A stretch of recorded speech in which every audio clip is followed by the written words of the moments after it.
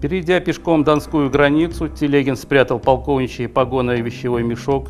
Поездом добрался до Царицына и там сел на огромный теплоход, набитый от верхней палубы до трюма крестьянами, фронтовиками, дезертирами, беженцами. В Саратове предъявил в Ревкоме документы и на буксирном пароходе пошел на Сызрань, где был Чехословацкий фронт. Волга была пустынна, как в те полумифические времена, когда к ее песчаным берегам подходила конница Чингисхана поить коней из великой реки Ра.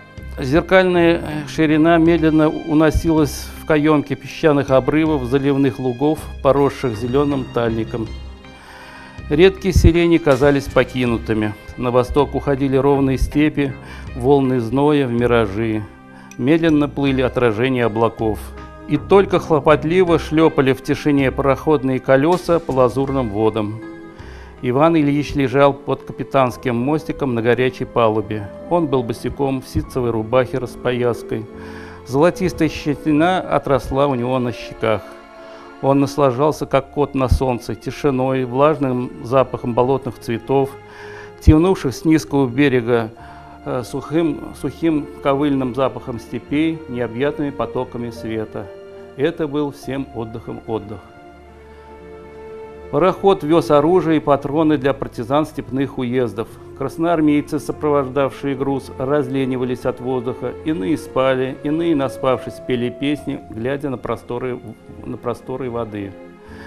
Командир отряда, товарищ Хавенин, черноморский матрос, по несколько раз на дню принимался стыдить бойцов за несознательность. Они садились, ложились около него, подперев щеки.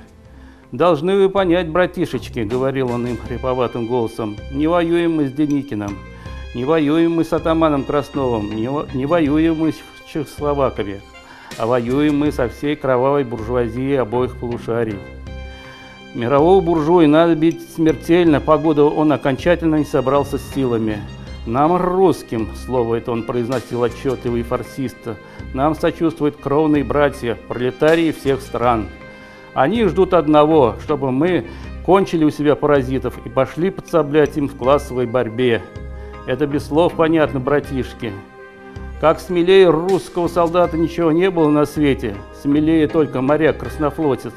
Так что у нас все шансы. Понятно, красавцы, это арифметика, что я говорю. Сегодня бои, бои под Самарой, а через небольшой срок бои будут на всех материках. Ребята слушали, глядя ему в рот, кто-нибудь замечал спокойно. Да, заварили кашу на весь свет –